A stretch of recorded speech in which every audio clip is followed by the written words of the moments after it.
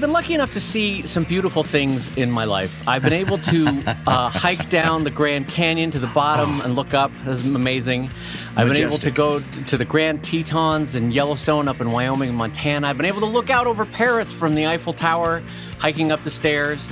But Brad, this past weekend, my family and I went to the San Diego Zoo, and I saw something that was perhaps one of the most amazing things I've seen in my life, Yeah. which was I saw a male African bull elephant. Uh, stands about 10, 13 feet tall, weighs about 12, 13,000 pounds. It's the largest terrestrial mammal on the planet, right? Uh-huh. Uh, I, I stood about 20 feet away from this thing as it took a leak, and it was amazing, Brad. It was amazing, Brad. Majestic. It was it was majestic. Nature was on full display. I was amazed. Mouth agape. I couldn't look away. I, I I I went to shield my children's eyes, but I said no. They need to see this. this is important. this is this is life. Yeah, This what was life. that like? Uh, Okay, so imagine you've gone to, to Target or Kmart or Toys R Us and you bought a child's pool, right? Mm-hmm, And then you take the full 100 gallon contents of that child's pool and you pour it down the air duct of a small air conditioning system and, and at the force of a jet. This elephant peeing was amazing, Brad. It was amazing. And I, I say kudos to nature because I, I was blown away by what I was witnessing.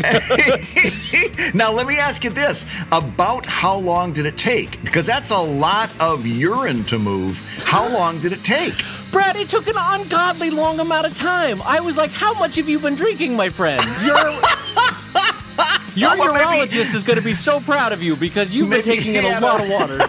Maybe you had a prostate problem. That was it one steady stream, or or did it start and stop and start and stop? Because Can, I, I'm, I'm you telling imagine, you, Brad? If, can you imagine if I'm like, "Listen, pal, uh, we're get, we're getting up there in age, and you're going to start noticing some changes." Um, Well, here's why I ask because did you know they did research on this and the average amount of time it takes to avoid your bladder for all mammals is 21 seconds, regardless of size. It's true of a bull elephant and it's true of a mouse. Can I just say to the audience listening at home or at work right now, one of the things I love about Brad Guigar is I have sprung on him the idea that I saw a bowl of elephant pee. And he knows offhand that it takes 21 seconds for a mammal to void their blood. How do you know that? How do you know that offhand? It came across my social media somewhere. I probably one of those things you read on like Imgur or Reddit. It just it just came across my uh, my transom, and I thought uh, that that's something that's worth knowing. I mean, let's face it, you're never going to forget the 21 second P rule. Doesn't that feel though like sometimes science can can make uh, declaratory statements that you're like, no one's checked this. Can you imagine the scientist is like, it doesn't matter what the mammal is. It could be a titmouse. It could be a blue whale. It takes 21 seconds for them to void their bladder. That's science. All right, moving on. Let's talk about black holes.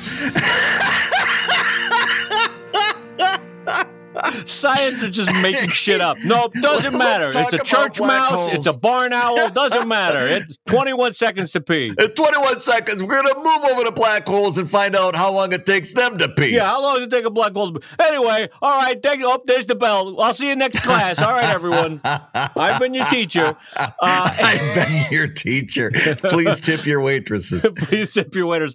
Well, on that note about bull, elephant, bull, uh, bull, elephant, I got there. Boy. Bull, elephant, urine. Let me say hello, everybody, and welcome to ComicLab, the show about making comics. And the show about making a living in 21 seconds from comics. I'm Brad Guigar, editor of webcomics.com and the cartoonist of Evil Inc. And I'm his friend Dave Kellett, who's very impressed at how he rolled that in. I am the cartoonist of Drive and Sheldon and co-director of Stripped. And this week's Hour of Comics Advice is made possible by your support at patreon.com slash comic lab. So Dave, Dave, let's talk comic sponsorship. That's right. This podcast this week is once again sponsored by our friends over at Wacom, W-A-C-O-M dot com, maker of Cintiqs and Intuos and all sorts of drawing products. And the thing that I wanted to tell you, Brad, this week that uh, I found within the last six to 12 months as a fantastic use for my Wacom is when I get commissions or when I get custom drawings of people that want something framed up, like physical art, right? Yeah. Uh, the the amazing shortcut that I have found is to do all my early iterations on my Wacom, and then Yeah. print out a near final version that I can lightbox and draw for the people that are getting commissions. And I got to tell you, it's made it faster. It's made it way more efficient. Uh, and I think, frankly, the final product, the art that people are getting in the mail, uh, is so much better because I done the did the pre work on my Wacom. And uh, Yeah. so I got to say, even with my original art, it's helped my career uh, having that puppy in the studio. So it's really appropriate that they are our sponsor this week. And so we give them a big shout out to Wacom over at WACOM for uh, sponsoring the show. Fantastic. And now the other thing I got to before we get too far because we got a big show lined up today, big big show. I got to find show. out h- how's everything going at African bull Annette- elephant big. We're talking. this is going to be. well, I as, as speaking of which, I wanted to spend about 21 seconds talking about your Kickstarter. Damn it! Stop it! And and uh, logically enough, it's it's over at anatomykickstarter.com. And how are we doing? How's the flow? Oh, how's the flow? Well, based on when this show is coming out, this should be, I think, the last week for the Kickstarter. So let's Oh. hope that I'm not crying in my soup. I think I'm not. Uh, Hopefully, it's, going not well. too late for people to jump in. No, not at all. We're we're Yeah. uh, finishing up the stretch goals for the book, um, adding in stuff like a built-in classy ribbon bookmark. Oh, I love those classy ribbon bookmarks. Uh, I know. I actually do. I think they're they're do. they're they're frankly silly, but they do add a certain value to a book. They're fun. Yeah. Uh, and then it's a cloth wrap spine. It's going to have end papers. It's going to be it's going to be safety sealed in a, in a little plastic. Oh, it's going to be great, Brad. You're going to love it. It's going to be great. Oh, I love it. I, I, I love it already. I love it already. So that's over at anatomykickstarter.com. And then this week, my friends, on the show, we are finally, finally, after long promised many months, we are going to talk about our one year goals, our three year goals, and our five year goals. And Brad Guigar, I have to say, in friendship, it has been a little bit pulling teeth to get you to do this. I, I and I'll tell you why. Now that we're now that we're doing it, uh, uh, because I I've been dra- pulling teeth is the polite way of saying this, and I'll tell you why I don't like this idea. Uh, uh, because here's the deal: we we share a lot of ourselves on this show, and, and very openly, very freely, and and and part of it is that that's kind of who we are, and and that kind of transparency is important. But it also leaves you feeling very vulnerable and very exposed, and. Uh, That's one thing when I'm talking about work that I've done that I'm prepared to stand behind. It's another thing when I'm talking about something like this, which are, are goals and aspirations, and I'm I'm really opening myself up more than I want to. And oh, what okay. happens is inevitably, inevitably, this is what's going to happen. We're going to share these goals, uh, and I'm going to say in three years I want to do X, Y, Z, which means in two and a half years somebody's going to, uh, uh, you know, if Twitter is still around or whatever, they're going to uh, hit me up on social media and they're going to say, "Hey, Brad." I thought you were going to travel to the moon in three years. Whatever happened to that? and it's bad enough to to miss a goal that you've set privately, uh, uh, but it's even more painful to miss a goal and then have a complete stranger rub your nose in it. And so that is why I've been avoiding this because uh, I know that some of these goals are going to hit, some of these goals I'm going to miss. I'm okay with that. What I'm not okay it with is having somebody, even, and I say rub your nose in it, that person who tweeted might be tweeting from a complete position of being friendly and nice and and and just wants is was curious to find out hey whatever happened to your three year goal? Right, but my you're mind, internalizing because- it as a point of yes, pain. Yeah. and because I consider that a failure, I'm going to feel like they're trying to shame me, right? Because that's how you internalize things. Uh, so I'm just putting that out there. I, I, I, I, this is why I was uncomfortable because I'm okay uh, missing goals uh, and, and choosing which goal, which failed goals that I ch- uh, that I share. Uh, putting myself out there to this extent, and then knowing that I'm going to have to deal with this in in three or four years is uh, a little bit intimidating to me. Well, I want to tell you in friendship, thank you for sharing that because you're right. It is it's like saying, "Hey, everybody, I'm starting on a diet," and then three months later, and you're ten pounds more, and you're like, "Dang it! Ah, I, why did yeah. I announce that? Why did I announce that? Just do it quietly." So yeah. I get that because it's all it is a it is a sensitive thing to want to do better and then feel called to account when you don't. You you either made a little bit of progress, but not the full progress, or you didn't make any progress, and that I respect that you're sharing that as the reason why you didn't want to do that, and I respect you even yeah. more that you're doing it, even though you are apprehensive about that potentially happening three years from now. So honestly, I'm saying this honestly. I didn't have a choice. I didn't have a choice. I, every every every week, or I'm sorry, every month when we would put out the call for solicits, we'd have some people saying repeatedly, or or different people saying. Uh, when are you going to do that 135 show? When are you going to do the 135 show? Uh, so it, it, until we finally did the show, uh, it was it was clearly not going to go away. I was I was hoping that it would that yeah. we could just let it settle to the bottom of the fish tank. It was never going away. So this is the only way to get past it, and then just deal with the chips as they fall. Let me give you and our listeners a reason, a couple of reasons why I think people a wanted it, and why I think it's also important for us and they to do it. Right. Mm-hmm. So one is uh, it's kind of like that old Paula Poundstone joke about like why do adults always ask kids what they want to be when they grow up? It's because they're looking for ideas. That's why they ask, right? Um, yeah. So people want to hear our goals because I think it will be instructive and helpful for being like, okay, I can reorient my goals to be X, Y, Z, or Brad's doing this. That's not quite for me. But if I change it a little bit, I could do this for my goals, right? People, yeah. uh, it's helpful for all of us collectively to use one another as guideposts to how we're doing, right? It's a, it's a basic human aspect of a, of a herd animal, right? Um, yeah. But then also, Brad, I think one of the reasons, and in your heart of hearts, uh, we've talked about this. You you know it to be true. Um, is that uh, one of the reasons why it's important to set goals is a, you're going to get distracted by a shiny object. And when you do, that's okay. That's a natural thing. But you yeah. need to have that North Star to redirect you again to go, all right, no, this was not one of my goals. It's very fun. This project looks neat, but it's not what I wanted to do. It's just what's catching my interest in this moment, right? So there's that. Yeah. And then B, the second one is, I have found that if I personally don't set goals, Brad, life has a way of setting goals for me. And so, yes, I suddenly look up five years later and go, wait a minute, I did not intend to be a lightkeeper in Maine. How, why am I running this lighthouse? This is not what I wanted to do. It's five yeah. years, and I'm, I'm. Where's California? Where's my cartooning? So if I if I don't set my goal, life will kind of put one in there and be like, all right, you know what? But you're not going to set a goal, but then you're going to end up being an accountant, or you're going to end up doing this or that, and and so right uh, because sometimes you just have to make ends meet. And so if you want to make a cartooning uh, your career or even a pro am or even a hobby, you have to make time for it and plan for it. It doesn't just happen on its own. And goal making is a critical part of that. So, what Brad and I have yeah. done is we've put together a PDF that you as a Patreon backer can grab as an exclusive off the site. It's over at patreon.com slash comic lab. And it's a simple one page PDF that has things broken up into one year, three years, and five year goals. And within those years, there are projects that are your goals. These are the physical uh, objects you're going to make, or the the uh, artwork you're going to work on, or the things you're going to film, or the podcast you're going to record. Those are the projects. And then the second chunk of goals is going to be financial. That's all the money. That's all the money handling. That's your accounting. That's your bookkeeping. That's how you're going to handle your tax load. All that stuff.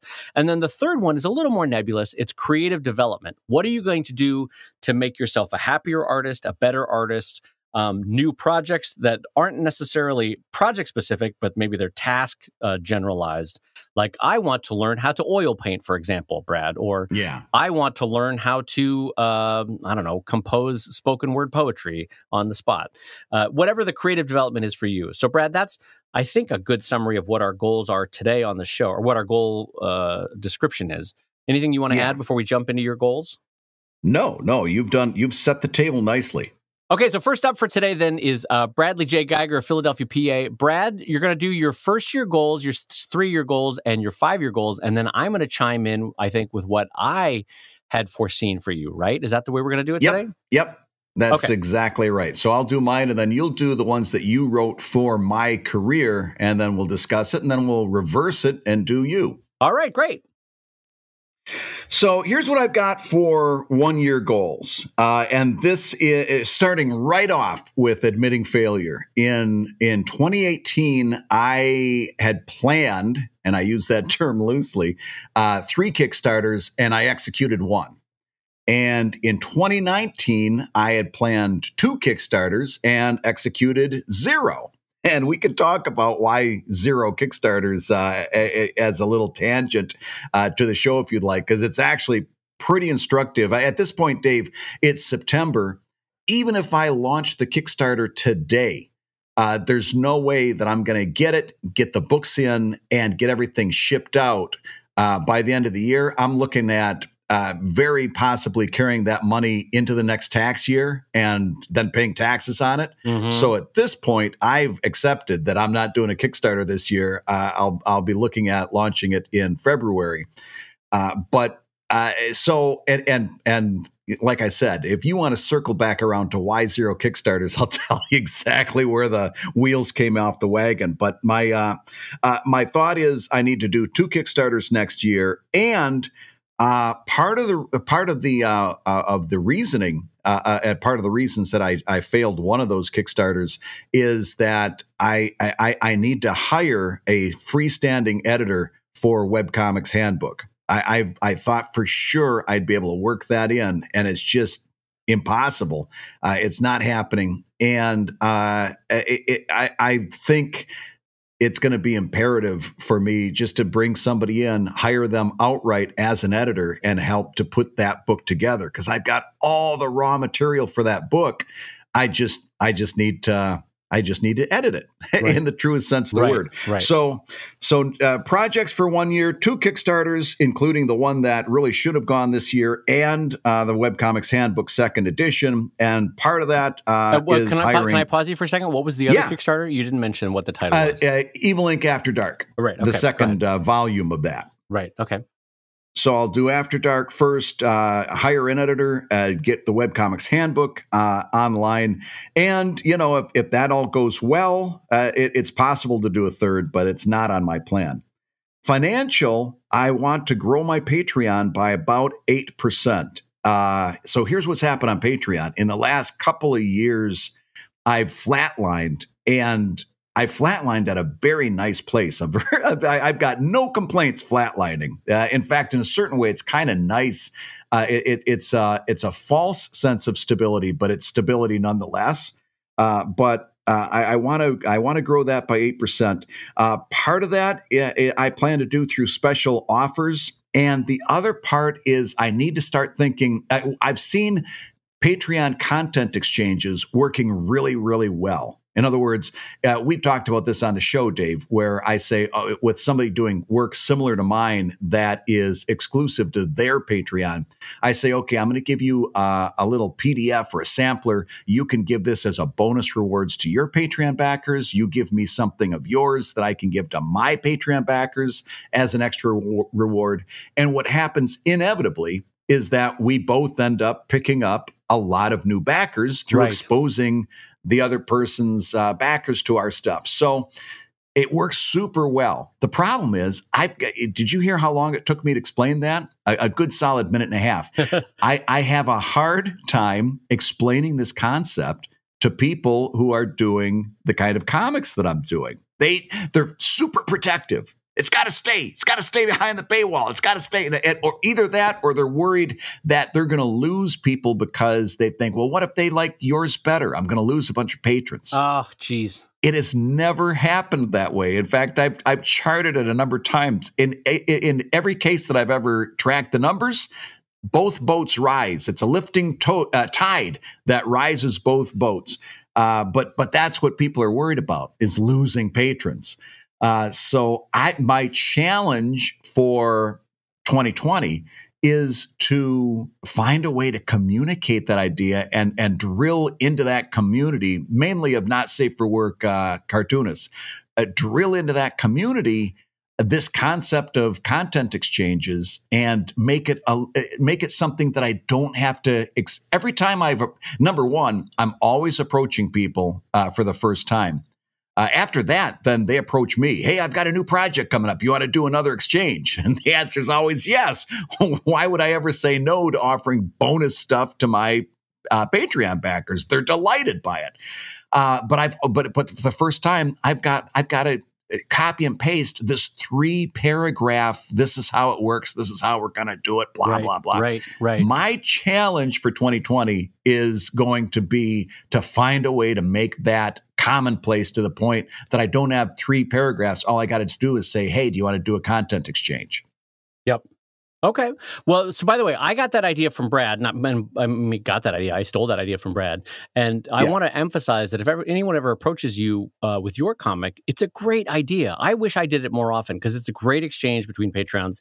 I don't want to beat a dead horse. It's just it's a great idea, and I want to underline that. And so keep going, Brad. That, I think that one was great. So for my creative development, uh, that one was kind of a gimme. At, at, at least part of it is uh, I definitely want to go to the uh, Alaska Robotics Camp in 2020. Uh, I'm, I'm, not missing out on that again. And also, uh, I found about this uh, training seminar, this training outreach that they do in Greece. Uh, my my older son was actually going to do it over summer vacation this year, except uh, they changed their insurance requirements, and and he had to be 18 to do it, uh, and he was only 17. He might do it next year, uh, and I'm thinking about maybe doing it along with him. They go to Greece and they go to refugee camps and they do training with people and try to teach them how to do a lot of journalistics type stuff, like how to re- report, uh, gather information, how to how to present information, and uh, you know, Alex would be you know showing people how to use things like video recorders and how to edit video to to basically tell their story and help to get information out. Oh. And I was told when we were we were, when we were going forward on this, I was told that uh, they're always looking for graphic designers to help people, uh, you know, build information, uh, communication type things. You know, how, now that we've got this information, how do we put it out in a way that people will understand it? And so I thought I would love to take a month and do that. And I could work remotely. Uh, that as long as I could get electricity and a Wi-Fi, I could I could take my uh, my uh, my Wacom 12WX with me and work anywhere.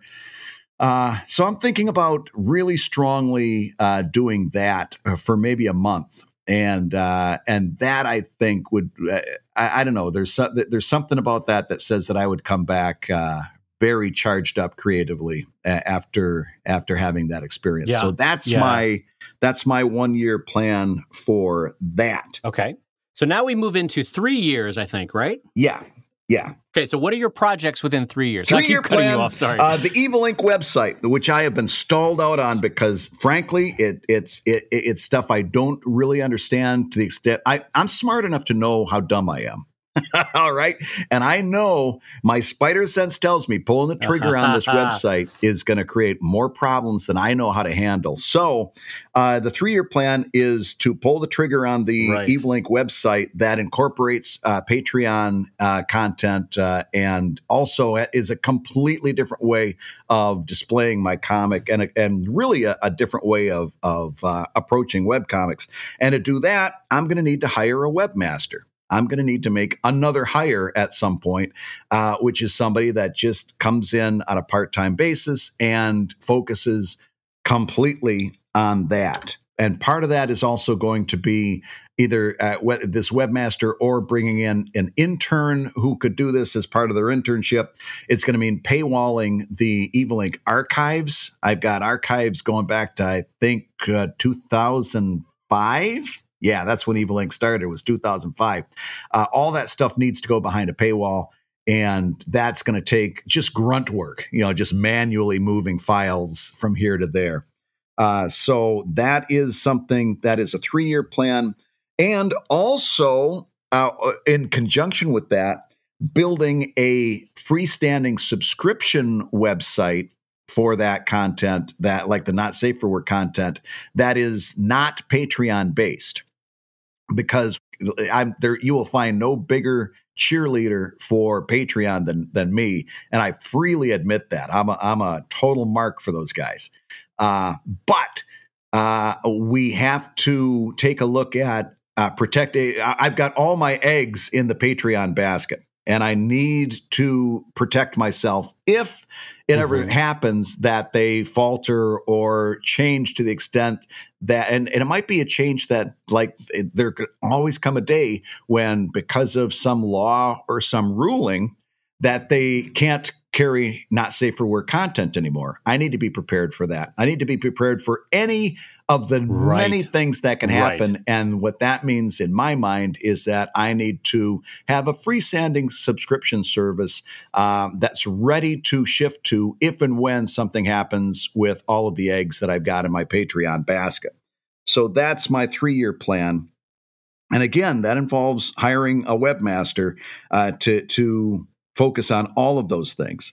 Uh, financial, uh, that also is uh, you know build in the subscription uh, website to start uh, generating that revenue and to have that ready to go. Uh, also, remonetizing archive Patreon content by the time, and again, th- and again, that's going to be something that probably will take like an intern or uh, uh, you know somebody that I that I hire on a part time basis. Uh, at at the point that we're into three years, I right. started doing not safe for work. I think in 2015.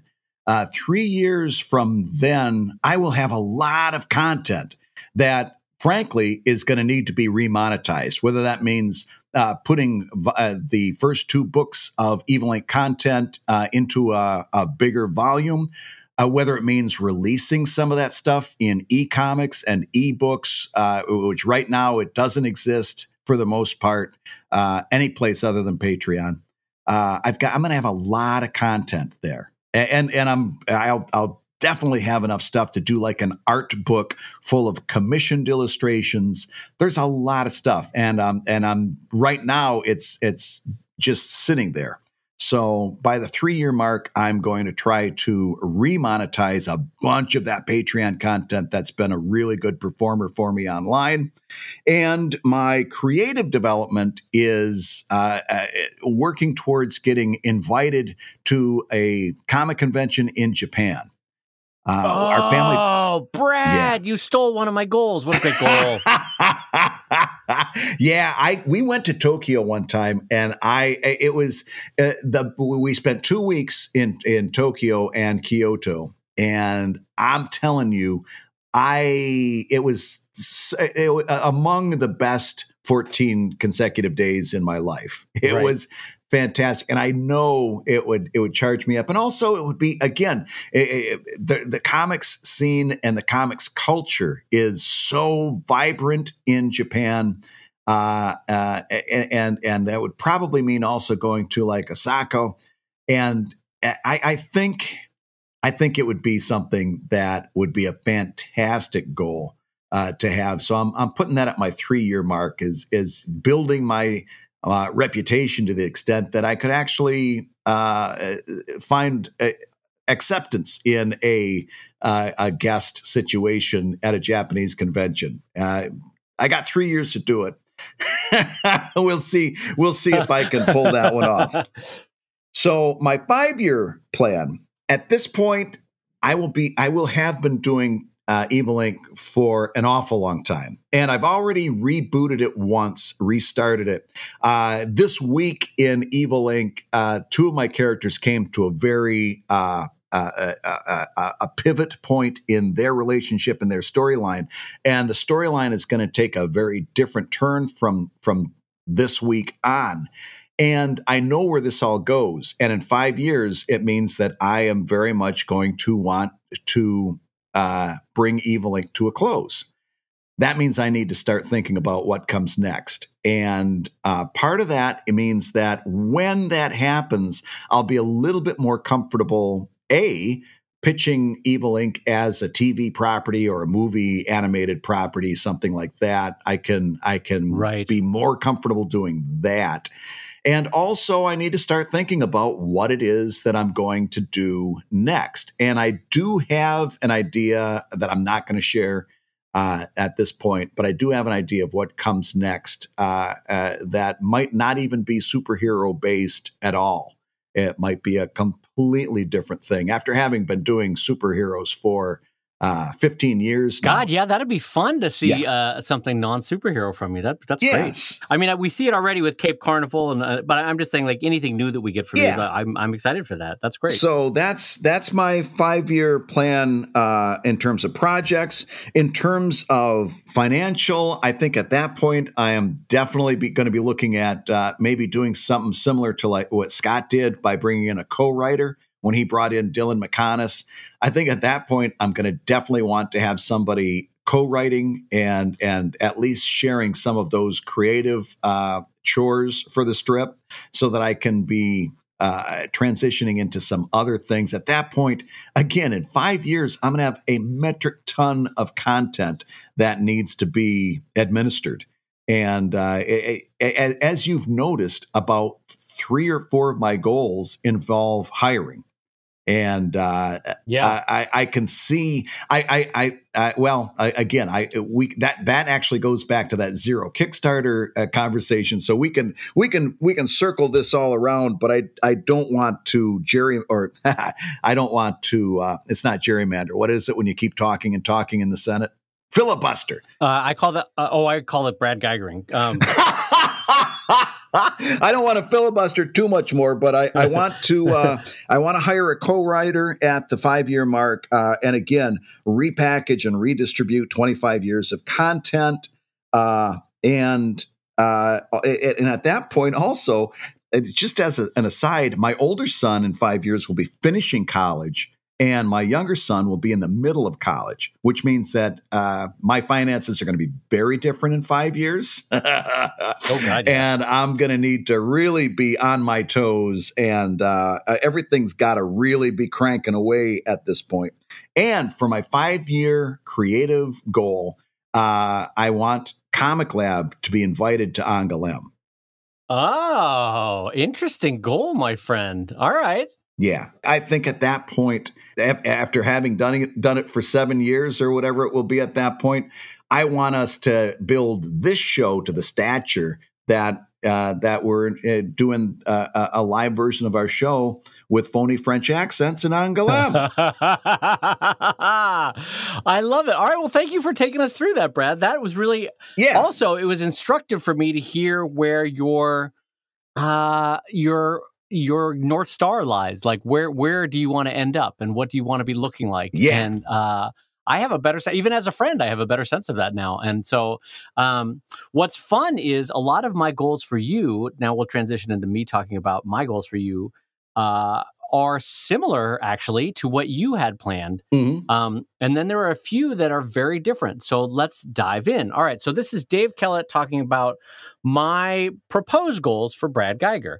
Right. So for one, the year one, within the next 12 months, uh, you have to have to have a new Kickstarter for Evil Inc. After Dark. Um, yeah, I think the web comic book goes second. I think the Evil Inc. After Dark book goes first because it's frankly a bigger money spinner and it's a um, it has a long tail that can continue into the new web comic book uh, kickstarting as well. Yep. So that's uh, project number one. Uh, second project, and I actually pitched this to you the other day. Um, I would love for you to start putting one original art piece on eBay every month, just to start at a month level. Um, and yeah. part of the reason I would love to see you do that is I want to encourage you and me to cultivate new income sources. And I think eBay would be a nice supplement to you that you don't currently have a lot of. Yeah. When you do it on the regular, like for me, uh, I try to do a new eBay piece every week or week and a half, and over the course of the year, it ends up making like five to eight thousand dollars a year, and that adds up. That's real change. Like any individual one, you're not building a career on, but that's a nice supplemental for the for the whole year. You know? Yeah. So uh, absolutely. Uh, if I can get you to even start shooting for twenty five hundred or three thousand dollars of eBay sales a year, uh, what a nice supplement. I think that would be great. And because it gets you to where I want you to go with a hire. Mm-hmm. Um, anyway, also this year, separate from anything we do as ComicLab, I would love for you to try out a pin um, because I think it's a, a really nice. Uh, it's not a huge money spinner, but it's easy. It's fun to do. It's easy to store, and it's easy to ship. Yeah. Um, and the margins are great. And so I would love for you to try that as a new income source. I want, in general, for you to establish, uh, just because it's been. I, I would love it to be two, but even if you could get to definitely, definitely kickstarting one book a year um, and ideally two book a year. yeah. No, I'm not saying this as a criticism. I, Brad, no, I after, agree. I after agree. my most recent one was born, it took me like four years to get back on the two books a year system. Like it's not easy. I know yeah. it's it sounds easy for me. Like Brad, you got to kickstart a book. Like it's a lot of work putting together a book and a Kickstarter. So um, anyway, but once you get into a pattern of, of kickstarting one in the summer so that it's available in the fall for Christmas sales, and then one in spring so that it's already in summer for a San Diego Comic Con. In my case, uh, it's it's helpful to get into a pattern because then you can't let the month slip without going, oh shit, I got to get the book ready, that kind of thing. Right. And then my final project for you over the next twelve months is I want you to reduce your Patreon exclusive posts. Um, and now that's going to sound counterintuitive oh, to you. Really? Yeah. But you have yeah. put a lot of eggs in that basket of like, look at Brad's made 7,000 mm-hmm. posts this month and here they're all exclusives and here's the chart. And I think you are over delivering, frankly, um, and in a way that's not getting you more people at this point. Um, I think if you threw more effort towards the the eBay sales and the pins, that's going to bring you in more money. You're not going to lose anybody on Patreon by diminishing it 10 or 15% in terms of the output. Um, Mm-hmm. and uh, I still think you'll be the same level. That's just, that's just a thought. Um, financial wise, for the one year project, um, I'd love you to get a hire that expands for to twenty or thirty hours a week. What do you have right now? What is your current situation? Uh, four hours a week. Four hours a week. So let's say you got someone up to 20 hours a week. They're three years out of art school. They're energetic uh, and they are uh, they might have some other supplemental job or they're maybe they're going still going to grad school having graduated from college and they need a supplemental. 20 hours is a great amount of time where when they're there they're working. They're they're do working projects you know that kind of thing. Right. And then i really think that having someone there 20 hours a week will help your output tremendously um, mm-hmm. so that's something i would love to see and then uh, my proposal for you over the next 12 month is to have a goal of growing your Evil Inc. Kickstarter uh, 10%. Um, that's 75 people, and I think that's doable with a different kind of outreach. Um, and that's something we can talk about. Oh, okay. And then creative creative development wise, um, I think the Alaska trip will be great for you. And so I'm excited to go on that with you. I hope you're still able to do it. I think it's a great way to both recharge your batteries to meet a lot of cartoonists that you and I wouldn't otherwise run into or bump into or cross paths with, and in general, you come away with a sense of uh, uh, an, an, enlightened and happier heart, and it's it's a good trip. So I think you'll love that. Yeah. So that's for that's my goal for one year. Um, any thoughts on that? Anything that you're surprised by, or you want to take umbrage with, or or you're like, oh, oh no, I, I, everything you said I agree with. Although I do want to hear about different outreach for Evil Inc., but we can talk about that uh, in an upcoming show. Yeah, let's t- let's table that one for an upcoming show. Yeah. Um, so for three years, uh, I ha- and I don't think you should do it within the next 12 months, but within the next three years, uh, a site redesign. Mm-hmm. Uh, and it's interesting that you had that on your page too. Oh, yeah. What I would really love to see you do, because this is going to be a money spinner, is I really want you to do a 300 plus page Evil Inc. After Dark hardcover maybe leather bound or something that feels classy. Mm-hmm. And by leather, I mean probably a faux leather, uh, or uh, something that just feels like, oh, this is a nice book. Yeah. You know, like you've put you kickstart it in such a way that it it like you it starts off as a hardcover, but the the stretch goals are that it gets classier and classier and classier. Yeah. Um, I think that if you have a 300 page book, you can be selling that one for 50 plus dollars, and it's great margins. And I, I honestly, within a three year range, I think you can have stories in there, you can have past commissions in there, you can have uh, free floating artwork in there, mm-hmm. and uh, I think it'll do really well for you. Um, so that's my three year goal for you on that. And then financially, by this point, by the end of three years, I would love for you to have hired a full time employee. Mm-hmm. Um, but I would love for it to manage it so that uh, that full time employee is not only paying for themselves, they have managed to raise your income, if you know what I mean. Right, um, right. That's the key part is that they're. Uh, the first couple years you're just trying to get it where they're paying for themselves and then if you can get it within the third year where they're they're actively increasing your income too uh, that's great and then I would love to see you try to shoot for raising your Patreon by 50%, and that would be about 1,100 patrons. Mm-hmm. That would be a huge difference and would go a big way towards paying the, the salary of that employee. Um, And then somewhere in the three to five year range for creative development, I would love for you, as part of ComicLab, to come to San Diego Comic Con for fun. Yeah. Or alternatively, we both go to New York Comic Con for fun, where we're not selling, we're just, we've been invited. We're going to do a ComicLab there live. And then we're maybe walking around the show just to see it, you know, because you only Yeah. because you haven't been to a big show in a few years. So it, it'd be fun for you, you know, that kind of thing. Mhm. Um, and then within the three year goals, too, I forgot to mention uh, the projects. Uh, I think uh, the webcomics book absolutely can land within the three year period there.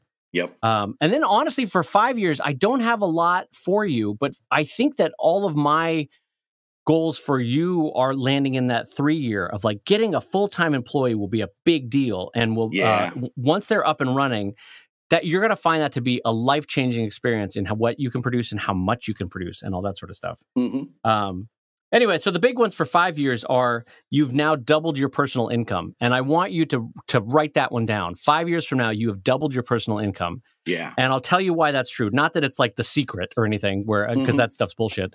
Well, Brad, I put it out into the universe that I'm going to double my income, and the universe has sent back flowers and love. But here's the thing: it's not. It's so it's not the secret. What it is is Mhm. you are seeing that pinned up on your wall of like, here is your income in 2019. Here is what your income is going to be by 2024, and even if it's not something you could do on a day to day basis, you're constantly looking at that number, going, "What am I? What am I doing right now? Right. What can I be doing different? How can I be taking action on this?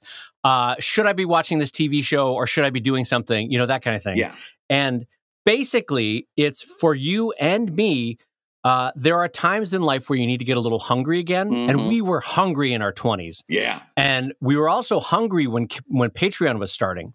But I will be honest, I- and maybe this is unfair to say to you, so I'll say it only to me. I've let myself get less hungry, Mhm. and it's uh, hunger is important because not necessarily for the money that's not as critical but the money allows you to do things with your art and that's what's critical. Right. you can do more and more interesting things and you can do it with less stress and that's critical. You can do it with less anxiety. So it's it's i don't want you to uh, to take away from this that uh, it's a, like a hard-nosed capitalist. It's not. It's just that money allows you to live a better art lifestyle and Mhm. that's why uh, I want you to shoot for doubling your goal. So that's that's my Brad Guigar goals for the one, three, and five year. What are you What are you thinking about? I that? like those. In fact, I agree with I, I agree with all of them. I, I- the whole idea of uh, throttling back on the exclusive Patreon posts uh, is a challenge to me, uh, mainly because it- it's like one of those things that it, it's it's a constant conversation I have in my head. That uh, th- one voice says. You probably have about the same number of Patreon backers if you throttled up, throttled back a bit. And then the other voice says, Do you really want to find out? Because if the answer is that you lose a bunch, now you've got to try and get them back. And uh, I, I I spend a lot of time getting to the point where I've got this many and and things are going as well as they're going.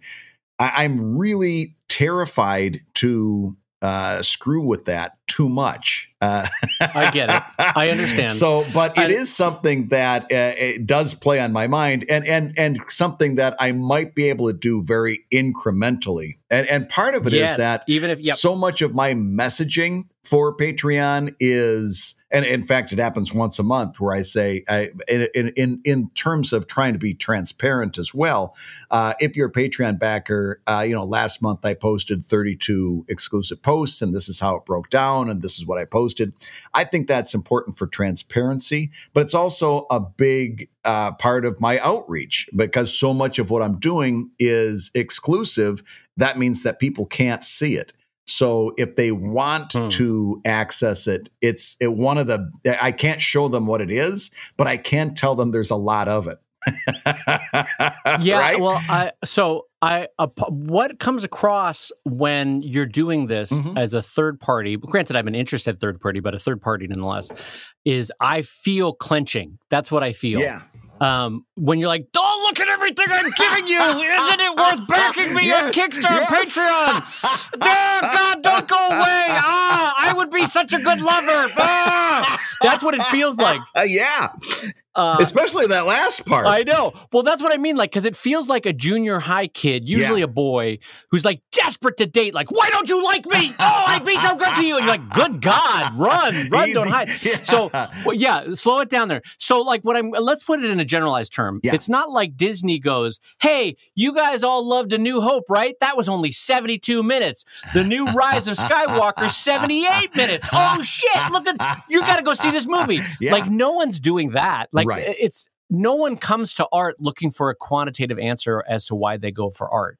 So, what I'm saying is, um, they become patrons based on how they feel, yeah. not based on what their logical mind is telling them.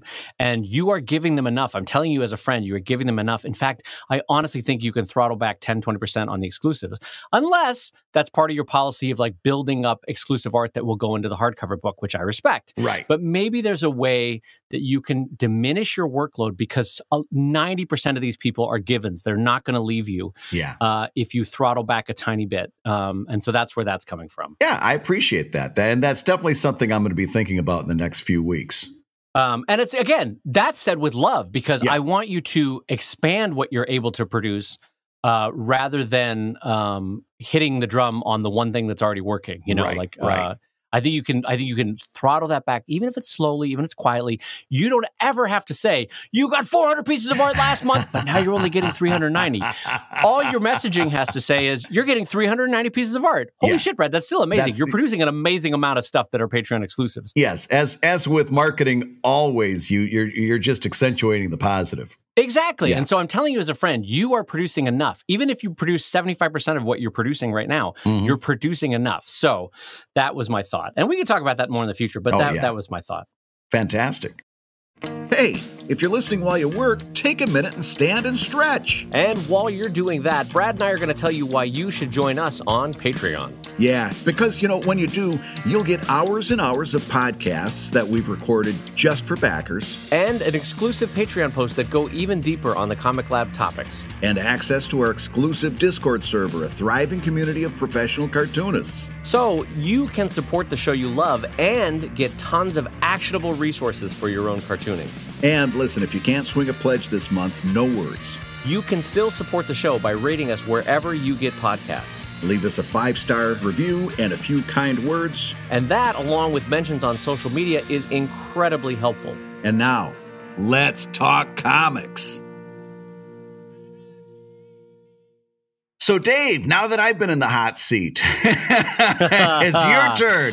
Uh, let me hear. I want. I'm. I'm really interested to hear what you've come up with. You've got one year, three year, and five year goals. What do you got for Dave Kellett? All right, for the next year, the next 12 months in my projects, I have a fair amount. Uh, this is probably my the, the most full of the 135. I get more nebulous and kind of blue skyish with the five years. So uh, we'll start more concrete. concrete. So uh, go, projects for this year, I want to bring Anatomy of Authors to market. Um, I mm-hmm. want to do uh, create and bring to market a children's book, something that I've never done before. Um, I want to create four to five new pins. Um, I want to start a podcast with my wife called Threesome with Dave and Glow, and where we interview uh, one artist friend every week, uh, a different like a writer, artist, director, cartoonist, oh, actor. That sounds like such a great idea. Uh, and I love the title "Threesome with Dave and Glow." I think yes. that's funny, um, yeah. and I think that'll be fun. So we're going to start that podcast. Um, I'm going to be starting with Fred Schroeder, a uh, cartoon. How do I describe it without giving it away? I'll just say it: a cartoon interview television show uh, and I'm not sure the final format of it, somewhere between 25 and 45 minutes, really classily shot. Uh, that I hopefully will be starting or making its way into the world within the next 12 months. Mm. And then, um, okay, so that's it for projects. Pretty full list. That's, that's pretty good. Um, and then uh, within financial, I would love, love, love to get ComicLab to 400 patrons. Yeah. It's currently around 270. I think 400 is doable within the next 12 months. Um, and the reason why I say that is uh, it makes it better for uh, the audio equipment we can work with. Um, if it makes it more interesting about some of the things we can do with the show when we have more patrons, you know, Brad. Yes. And God forbid, it would be lovely to have a little bit of income from it, but we're not really there yet. But uh, but it was it. I think with 400 patrons, we can really do some interesting things. And then with Drive, I would like to get it up to a thousand patrons. Um, I think right now it's like 940. So I'd like to grow it roughly eight, 10 percent, something like that, um, and get it above a thousand patrons. Um, and then with ComicLab, I'd also like to get it where we have within 12 months from now, or start by the time we're at 12 months from now, we have a consistent sponsor every week. Like this yeah. week, we have uh, Wacom as a sponsor. I would love every week of the show to have a sponsor, uh, which I think would be fun. Mm-hmm. Um, and then creative development wise, I'm really excited, Brad, to go on this Alaska trip with you. Yeah. I think it's going to be fun for our friendship. I think it's going to be great for our art. I think it's going to be relaxing for our hearts. Uh, I, I and enlivening. I think it's going to be damaging to our livers. uh, or if you're Dave Kellett, it's like a 90% s'more diet. It's a diet based entirely on s'mores. Um, so and then creative wise, I also want to keep working on. I've been doing eBay pieces with opaque white uh, ink mm-hmm. and black on a toned paper. I've been using either a gray toned paper or a light blue gray toned paper, and I've really, really liked the the the final look of it.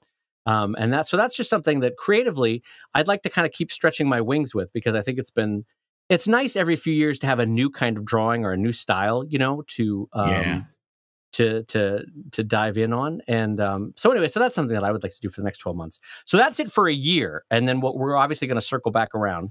Um, that's a pretty full year.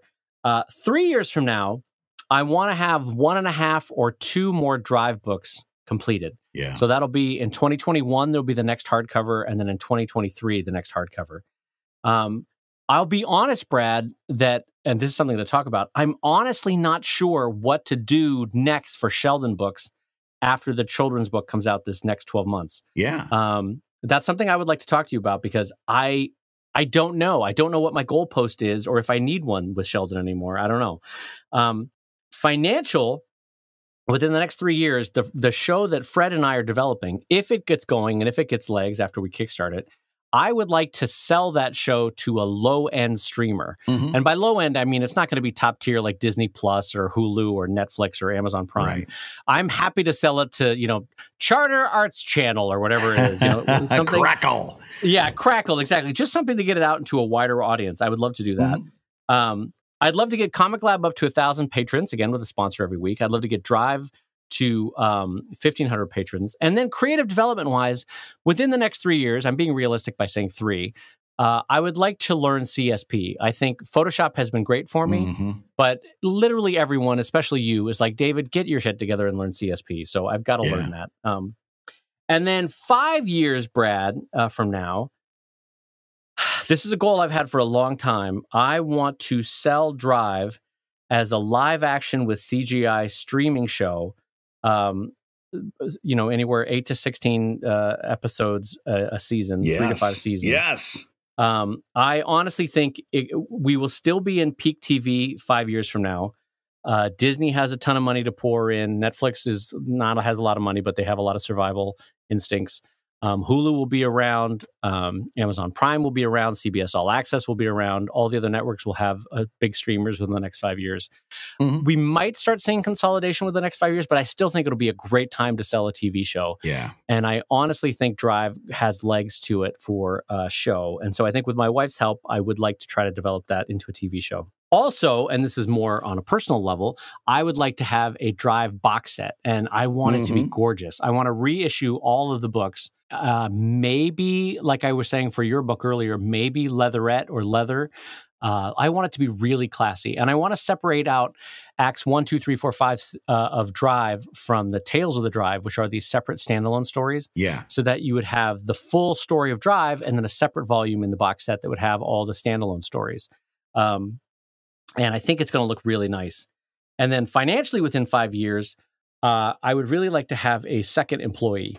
Um, mm. Mm. My goal there is I would like to do like Beth works full time, um, and we're in a studio about fifty weeks out of the year. There's probably two weeks of vacation or something. I don't know, uh, maybe three. I, I forget. But uh, what I would like to do is a second employee that's kind of starting a mangaka system where uh, Beth becomes basically art director, and the new employee is a junior artist designer, but also has other skills. I mean, ideally, it would be someone like Beth or myself who is not only an artist, but has uh, a worldlier ability to handle projects, to uh, do right. some financial stuff here and there if they have to, figure out some technology stuff if they have to. Like, I what I mean by that is I don't want the kind of artist that's like, I just know how to hold a pen. I don't know anything about oh, like fanning themselves. I couldn't dare yeah. to m- manage a project. Oh. Like, yeah. I want another self starter like Beth or myself who can handle things, do things, figure it out. Um, if I I don't have to direct all the time.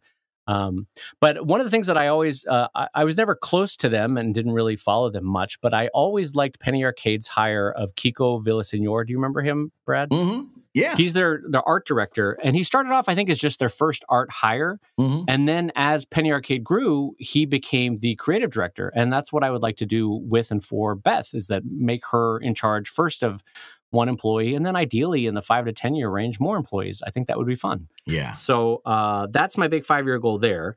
And then finally, for creative development, like you, I would like to be invited back. It doesn't have to be through ComicLab, it could be through anyway.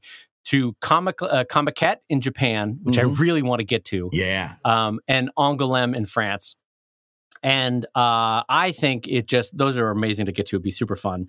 And then I oddly, Brad, I tacked on one 10 year goal. Mm. Uh, I would like to, to film and edit and make with Fred Stripped Revisited, uh, where we go back to everyone that's still alive and we do a follow up film documentary about where comics are 10 years from now. So that would be about the 15 year mark of when Stripped came out. Uh, and for those that don't know, Stripped was my documentary on the state of comics about four years ago. Um, so if we do it about 10 years from now, it'll be about the 15 year anniversary. It would be so fun to talk about how uh, how comics have changed, what survived, what's different. So that's my one, three, five year goals, and I guess one 10 year goal. Oh, uh, Brad you... Guigar, now it's your turn. Hit me. What do you got for me? You You're dirty like, First bird. of all, goal number one, stop being a jerk. goal number two, work on that body odor. Goal number three, the foot smell. What can we do about it? goal number four, they got a new thing out. It's called soap and water. Look into it. Uh, so I, I, am really upset with you because I thought I had the cake topper, and you came in with your 10 year uh, goal and totally, totally uh, ruined my thunder. So uh, here's what's interesting I've got little stars by all the times that you and I converged. Okay. And there's a lot of stars here. So going down my list of goals for you, uh, the children's book is a is a natural uh, develop that mystery side project as a natural. Uh, I've got one more goal, and that's to be a, uh, become a guest on a mystery cartoon interview side project. Keep chasing those so dreams, Brad. Keep chasing those dreams. so so that we converged on uh, i also that my goal for you financially is very similar to my own goal and that is to start considering uh, putting some of those Sheldon archives uh, behind a paywall, finding a way to monetize those archives. Okay. Okay. Uh, and, and that would mean integrating Patreon into your website, redesigning that Sheldon website, and and I, you've got such a large repository of archives uh, that uh, same as mine aren't doing anything for you. We used to monetize them with ads, and now they're really not doing a lot. And I don't even buy that people are, you know, doing web searches and finding the comic that way anymore, as much as it happened back in the early 2000s. Uh, it's literally, in my opinion, sitting there fallow. Uh, so I think in, in the next year, uh, and you could easily move that to a three year goal too. But sometime in the uh, within the next year or so, uh, we both need to start thinking about monetizing our archives by either uh, uh making them a Patreon protected uh, paywall and or building in subscription right. units to our site. Right. Uh, I also, for your one year fin- a creative goal, had going to Alaska with me and drinking scotch. So that's we we uh, totally crisscrossed there. Uh, for your three year, I had Scotch written in big letters too. Uh, just, all of a so sudden, you know. it switches to the kind of sharpie that's gigantic. It's just like yes. So now, three year plan. Uh, I had, uh, in fact, I had the same thing using uh, Small Fish uh, Studios and using your obviously the fact that your wife knows these waters very well. Uh, although I said develop Drive through Small Fish for TV streaming services, although you said live action, you you wanted Drive to be a live action. Yeah, so here's why I think I, it's doable. Um, it's uh, it would be an expensive show. So this is a hard it's a hard pitch because it's content that um, has not previously been filmed before. So, but I got to tell you, with um, the Mandalorian, which is a very expensive show that Disney is making, yeah, and with Carnival Row that Amazon threw a lot of money at. Uh, why am I doing that voice? I don't know. Uh, what I'm getting at is those mix of live action and CGI shows are very expensive right now. And let's make no mistake, it'll still be expensive, but the technology mm-hmm. within three to five years, especially five years, is is going to change the price levels dramatically for that kind of stuff. Um, yeah. And so when I think of a show like The Expanse and what they're able to do for that budget, which is not very big, um, mm-hmm that although it got bigger when it moved to Amazon, that um, that kind of show, I think Drive could be developed into very easily. Not very easily. What am I saying? Uh, that show could be developed um, with Drive having live action actors and CGI aliens, and I think it would be kind of cool.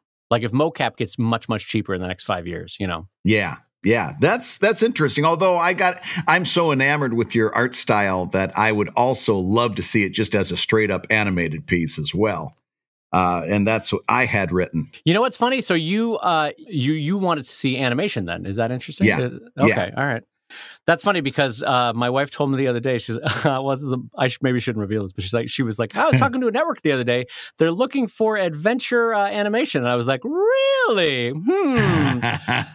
uh, so uh, anyway, long story short, I do want to develop it in some capacity. For whatever reason, I would like to see it live action. I just think it would be interesting to see um, the Spanish Empire, the Galactic Spanish Empire in live action. It would feel akin yeah. to the Empire in Dune a little bit. Um, like mm-hmm. I, I, th- I, think it would be neat. Um, and oh, sorry, I cut you off. Keep going. What were you gonna? What was no, no, no. I, I, I like so. So we we meshed up very well there. Uh, your your three year financial plan, in my opinion, is very similar to mine. We both need to be planning for a post Patreon future, just in case. I don't I expect it to happen, I know, but I think we You're need right. to and do I, it. And that's that's now here. Here's the deal. Even if something happens with Patreon uh, they've already let the genie out of the bottle in terms of people being, willing and and eager to uh, pay for content. This idea of subscribing for for content is in a completely different place of acceptance than it was five or, or definitely ten years ago. So that genie's out of the bottle, which means that it's going to be a very easy pivot for us to set up subscription uh, areas on our site uh, it's going to mean learning a little bit new way of doing business in terms of who's running that subscription and how it runs and how it's administrated. Um, but I, it, you know, for almost 10 years, the other thing is webcomics.com is going to be 10 years old uh, in 2020. Uh, and uh, I, I've been doing webcomics.com as a subscription basis on a very, very simple outlay. That has been something that I've been able to administer on my own and just uses PayPal. Okay. And and can be expanded, but I, I mean, I, there are very simple ways of doing this. Is what I'm trying to say. Yeah. And uh, we need to we need to start pivoting. Well, listen, as a friend, as a friend, I want you to keep reminding me of that because I have come to rely on Patreon for, let's see, I'm doing the math in my head. It's probably ends up being about 40 to 50% of my income last year, maybe a little less than that, maybe 40% of my income last year. That's a big chunk. And if Patreon yep. shit the bed all of a sudden and, and keeled, I'd be in trouble. 40% is a big, a big, you know, chunk. Uh, and I have no backup preparation. So that's why I'm saying I thank you. And I need you to keep on me about that because I have no backup for when Patreon goes away. And, had you asked me a year ago, well, there's no way Patreon's going to go away.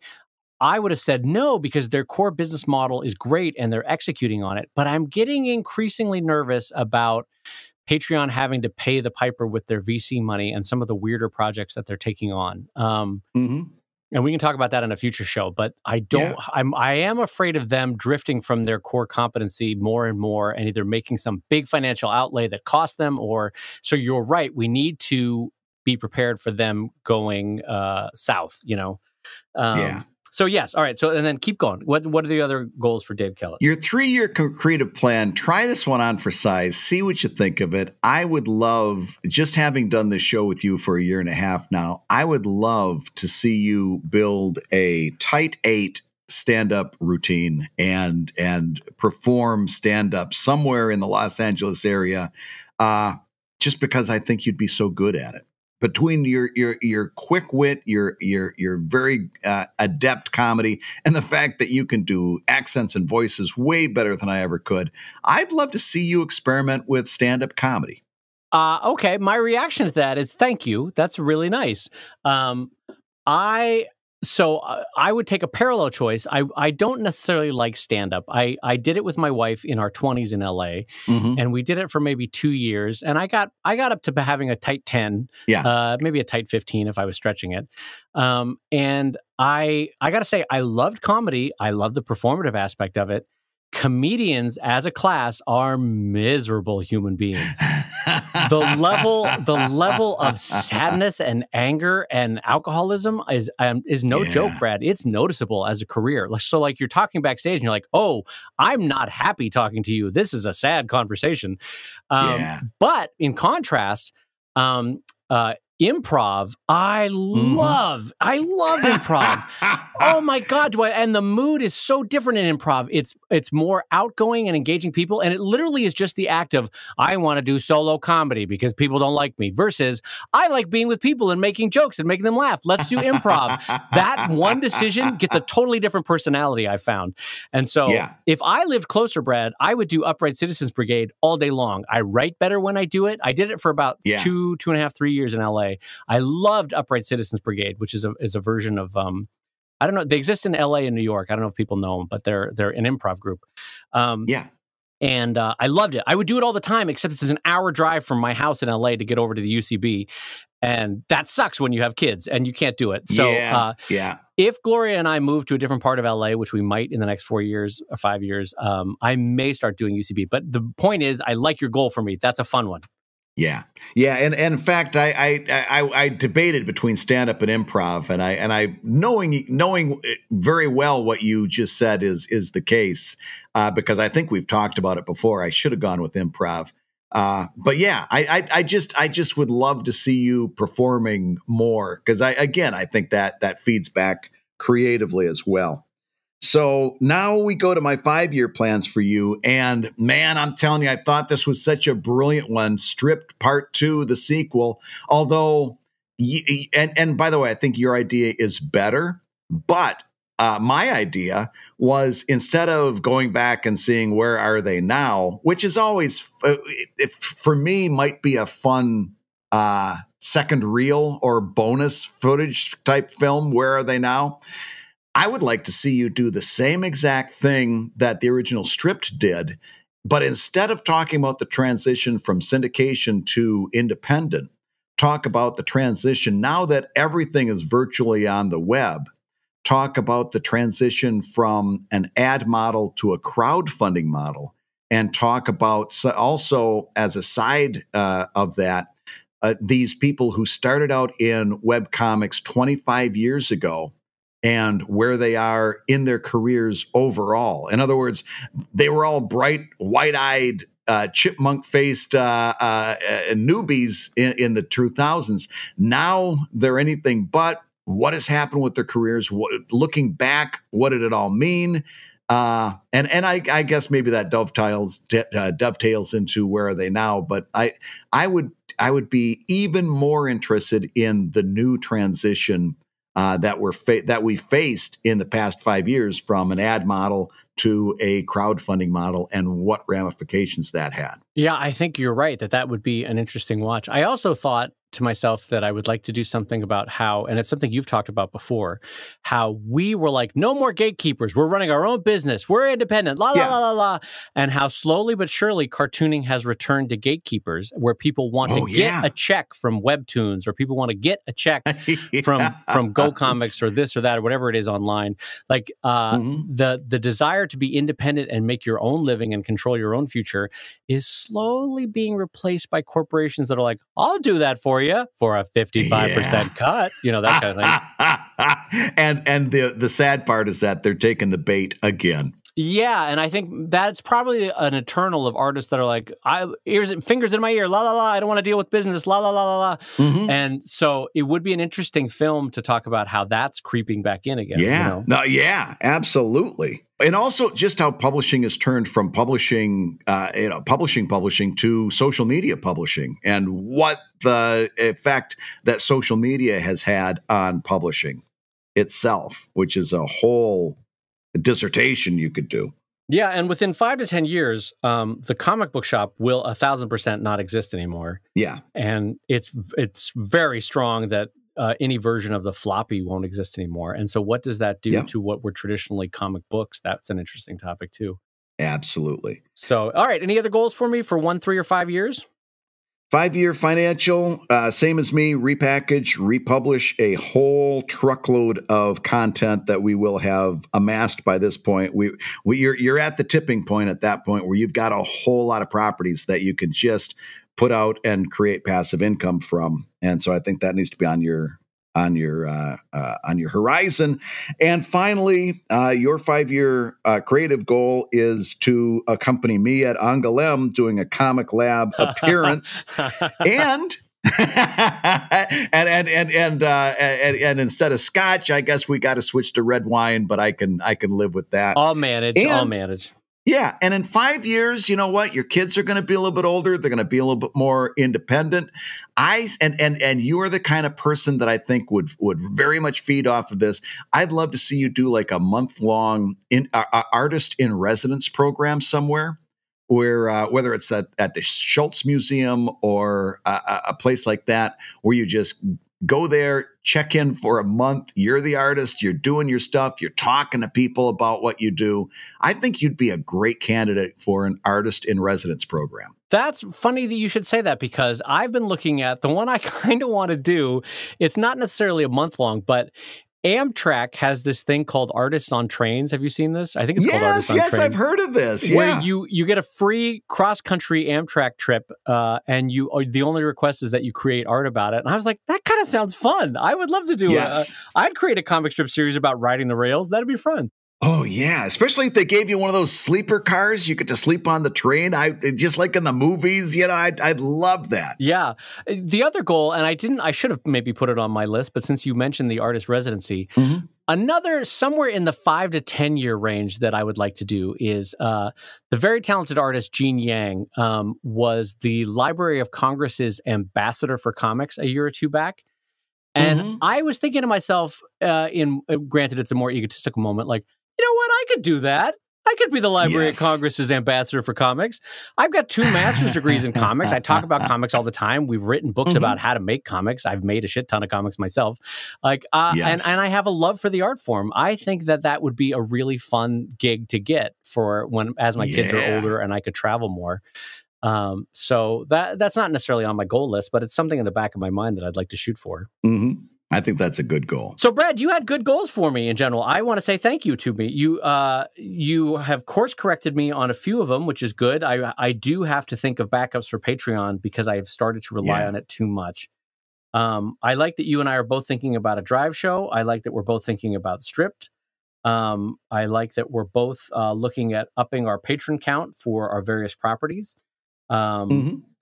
So my question to you though, because you had about repackaging, and we can end the show on this maybe because we're Yeah. going long into truth today. Um, so Sheldon uh, has four thousand strips in the archive, right? Maybe it's coming up on Yeah. four four forty five hundred. I don't know. Um, I have not done a straight Sheldon book since 2012. By that I mean I did volume one, volume two, all the way up to volume eight. I've not done a volume nine. Um, I don't know, Brad, and this hasn't happened to me in a long time in my career. I don't know what to do next. I don't know if I continue quietly doing Sheldon when I feel like it, and that's fine, and I sell the original and then it goes in the archive. Or do I do another Sheldon book? Is there an audience for a Sheldon book anymore? I don't I don't know. And if I do, do I do the best of the last 7 years and call that volume 9 or do I kind of pick up uh, like year seven and year six from uh, all that time ago and do a book with that and then do a volume 10 no I, I will tell you what you do. You you you are at the point now with sheldon with that amount of content that you take a page from scott kurtz's book and you publish your version of your awesomeology where it's the complete compendium every sheldon strip uh, so here's what I here's what I hear I when you say that. Though I know I recognize that that is an option. I feel like that yeah. is a shit ton of work for very little payoff. Um, and you in your heart of hearts probably feel that too. Like you can sense how big the Sheldon audience is. And are people going to want to pay 100, 150 bucks for a giant Sheldon book? I don't know. I don't know. I don't know. I I, I don't I, know if that audience is sunsetting. I don't know. Well, I don't know whether they're sunsetting, but it, but when you so here's the deal. I'm gonna I'm gonna give you another way of looking at that. Uh, Sheldon Book Ten is not particularly exciting. Okay, that's a fair re- response. Yeah. Right. And in other words, there's been nine books. This is going to be another one just like that. It, will do as well as a, a Sheldon book uh, can be expected to do, right? Which is very, very well. I'm not, I'm not damning you with faint praise. This is all good stuff. You'd be, you'd, you'd hit your Kickstarter, you'd make it go, you'd put it into the dis- distribution, you'd be fine. But it's nothing to necessarily write home to mother about because there's been nine Sheldon books before it, right? Right. But a huge, complete collection of Sheldon is special. That's exciting. That's something that's never been done. That's something that has, uh, especially if you make it a limited edition, that this is the only time you're going to print this and then it's done. Now you've got uh, you, have got scarcity. You are driving up uh, demand because of something that has never been done before. Uh, it, it's special. It's scarce. It, it I, I think it's a different category. Huh. I, so what I feel like it is, just to reemphasize, I feel like it's a shit ton of work collating all. Okay, well, hold on, hold on. Let's go back. Let's go back for just a second. Okay. Not so much a shit ton of work. You take your interior pages from one through nine. You, yeah, you, you, within an hour, you've got those books recollated. No, no. I, can I stop you before you go too far? Oh no! I have to go four. I have to go four strips tall because if I, I, because I, I, can see right now on my shelf uh-huh. books one through eight, and they're too thick. Yeah, I, you can't have a spine that thick. I have to stack them four tall. Oh. I have to do what I have to do what what Kurtz did with Awesomeology and go tall and thick rather than yeah. keeping the same size. Um, so I already have to reformat. And now you can certainly you can find all those files, you can put them all in order, but then you, you the first several years of Sheldon, you're in the clear because they're four panel comics and they're that horizontal sh- uh, shape, and then you started getting creative. Yeah, I got I got experimental. I got more. and now you've got to solve those problems. Right, because when I when I kind of stopped producing books in 2012, I kind of was giving myself leave to have fun and create new f- types of formatted comics and i frankly got wild in a way that wasn't thinking about the final book and so now i'd right. have to pay the piper for that and uh and just to reemphasize, 4,000 strips to format, Brad, to find the file, find the high res file, make sure it's okay, make double check that you have the right one of the other 10 versions that might be sitting on my hard drive, lay it well, out. Well, this would definitely this would definitely be a black and white book. yeah, in which case is a bummer because Beth's been doing fantastic coloring the last three, four, five years, and it's it would be. Yeah, I know, but uh, introducing a color to everything you just said I mean, oh no, no, no, could... not recoloring anything. No, no, agreed, agreed. What I would probably do is like the last four folios of the book would be color, and everything else would be black and white. You know what I mean? Yeah. Although, like, see, the thing about it is, I, I what would, would it be? Does it make it a better book? Is what you're saying? Your your black and white art is it, it, Beth's coloring is is gorgeous and it's fantastic. But for an archive tome like this, uh, number one, you're going to make you're going to bring your printing costs way down by sticking with black and white. Number two, you're going to Im- eliminate ninety percent of your file issues that you're worried about checking to make sure the file's all right. Yeah, you're not uh. You're going to be able to print this thing out and eyeball it and see where the problem spots are. And of course, then there's consistency where it's just black and white from start to finish. And your work stands up very nicely in black and white. Yeah. Um, part of this, Brad, and to give people a broader picture, is that I am at a crossroads and have been for the last three or four years, Mhm. frankly, with Sheldon, where I'm not sure where I want it to go. And I think that's a fair summary of it. And it's okay to admit that publicly. I'm not happy about it. I'm not proud of it. Yeah. But I've been doing Sheldon for 20 years now. There's 4,000 strips in the archive. Um, I still love drawing those characters and writing for those characters. I just don't love them. Uh, I, the fairest way to say it is as much as I used to. They're not my be all end all. I have other projects in mind. And the question is whether I continue to pour time and resources into making some new Sheldon book Mhm. or whether I just let the archives live and then use the website of Sheldon as my launching pad for things like Anatomy of Authors or Anatomy of Animals or my children's book that I'm going to be launching in a few months. And right. I th- I'm le- my heart is leaning towards the latter, but I feel like I need to make a firm decision one way or the other here. Um, and this is one of those moments where if you don't set the goal, the goal starts to set itself, you know? Um, And I've been very passive. I've been very passive in my decision making about what to do next with Sheldon. And so maybe I'll just make this a public discussion of you over the next couple months you'll hear me talking about what I should be doing with that and and maybe soliciting Yeah. some feedback from Brad and from listeners. It's an interesting cross I, like I very much see as Brad now knows why Breathed walked away, why Watterson walked away, why Larson walked away. You reach a point where Yeah. you're just like I kind of have said most of what I wanted to say with this and now it's time to move on to something else right. and that's natural i think i think that's okay i don't i don't feel shame about it anymore um, but I, I what I, where i don't feel pride is that i need to somehow figure out what the f- the format and the steps are going forward and Mhm. um, that's still an ongoing process so Interesting. Anyway that's a that's what a terrible denouement to end the show on on that note like well dave doesn't know what he's doing next with sheldon Um, well, no, I look at it. I look at it as hopeful because I know this is going to be a larger topic and something that we're going to probably revisit in the weeks to come. And I, I, I refuse to think that there's not an answer out there that that isn't a. Uh, a a good answer and, and something that has its own excitement. So uh, for me, this is not necessarily a, a bad ending so much as it's uh, a portent of things to come. Yeah, and honestly, and I say this genuinely, not jokingly, the best time to talk about this is you and I sitting on the back porch of a cabin with a beer in our hands in Alaska, looking at the Kodiak and and talking about comics. It's really going to be a lovely Yep. trip for us to plan out the next stages of our lives. It's going to be great. in between shouts of "Hey bear! Hey, bear! Hey bear! Stanley here! Hey bear! and on that note, you've been listening to ComicLab, the show about making comics and making a living from comics. Your hosts have been my friend and confidant Brad Guigar, the editor of webcomics.com and the cartoonist of Evil Inc. at evil-inc.com.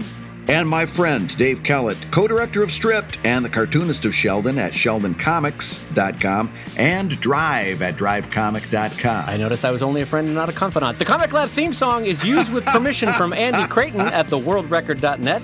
And this episode and all episodes was edited by our pal Matt Woodard at Woodsong Productions over at www.woodsong.media. And once again, our sponsor for this week is the great folks of Wacom over at WACOM. Brad and I are big fans and both users of it, so it is a perfect sponsorship for the show. Check them out, wacom.com. And ComicLab is made possible by your support at patreon.com slash comic lab, so we're going to say that twice. Patreon.com slash comic lab.